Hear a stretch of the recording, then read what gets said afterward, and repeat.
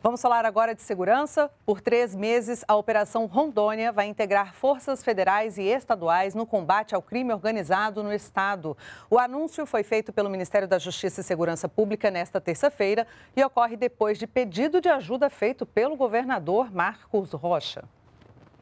Eu quero deixar claro que o governo federal e o Estado de Rondônia não deixarão esses criminosos atuarem de maneira impune lei e ordem serão estabelecidas no Estado e deixaremos um recado claro para esses criminosos.